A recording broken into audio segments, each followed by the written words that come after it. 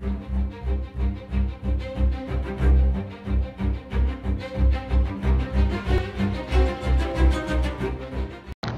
tardes. Bueno, eh, inicialmente, pues en este momento la cooperativa Recuperar cuenta con alrededor de unas 150 personas. Eh, situación que nos hemos visto reducido por condiciones desde el decreto 2025, que generó esa restricción de contratación con todas las entidades, de la naturaleza nuestra, en donde el artículo que contemplaba multas hasta de 5.000 salarios mínimos mensuales legales vigentes a las entidades que contrataron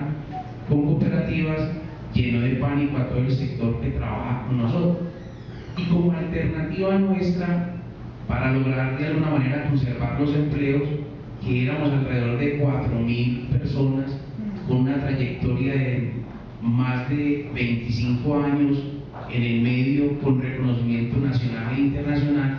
eh, no vimos más una alternativa que crear una empresa de naturaleza jurídica SAS, a través de la cual logramos salvar muchos de los empleos,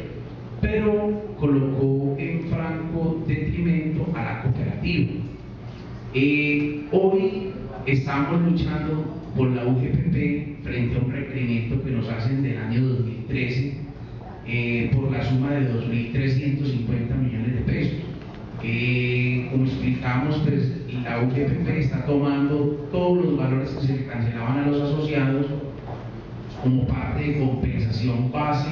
de cotización al sistema, situación que estamos viviendo todas las cooperativas. La cooperativa de trabajo asociado sigue vigente, pero ya reducida a su mínima expresión. Con esta situación que se acaba de presentar, lo que estamos viviendo prácticamente le estamos dando entierro de tercero, es una pelea, digamos, de alguna manera muy desigual de quedar ahí. Eh, entonces queremos manifestar nuestra voz aquí eh, para que se haga de alguna manera público que una entidad con un reconocimiento y una trayectoria como la nuestra eh, prácticamente está exterminada dadas las condiciones que tenemos actualmente. Eh, si bien nosotros logramos salvar algunos empleos que tenemos o manejamos a través de la empresa que se creó con naturaleza jurídica SAS, eso también golpeó bastante la cooperativa porque hubo que devolverle a todo el personal sus certificados de aportación. Eso llevó a que la cooperativa también quedara reducida a un capital de trabajo mínimo. Eh, básicamente esa es la situación que estamos viviendo, pues igual siempre guardamos la esperanza, ahora la nulidad del decreto, de los artículos del decreto 2025, creíamos que nos daba alguna luz de esperanza, pero